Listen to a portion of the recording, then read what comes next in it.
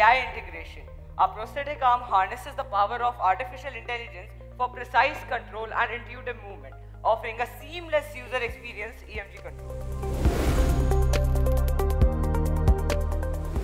The user can select either letters or phrases that are present on the virtual keyboard by moving their eyes and by blinking.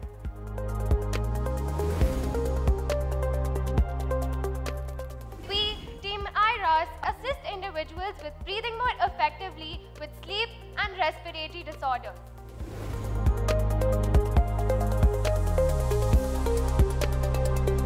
We wanted to design an intelligent glove that translates sign language to speech and vice versa.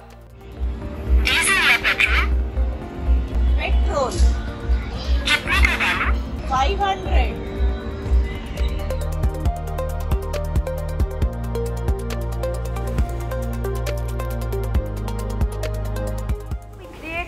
A, uh, a tool which would help farmers obtain readings of their soil and also know how much fertilizer they need to use.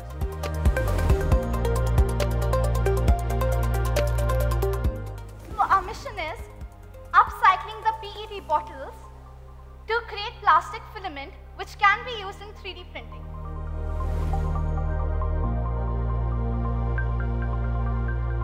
both of which are micro-controlled and offer advanced features.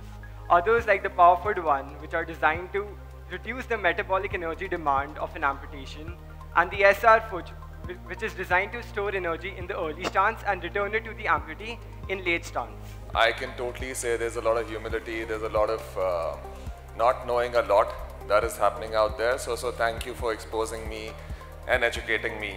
If I put myself against them, I'll be scared to have them as competitors for me.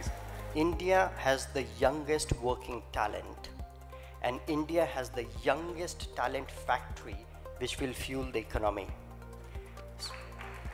Standing here, I can see why did they say that.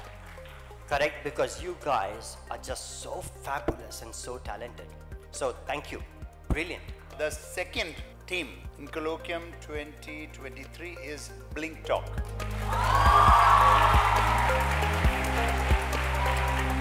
the winner of Colloquium 2023 is Team Communica.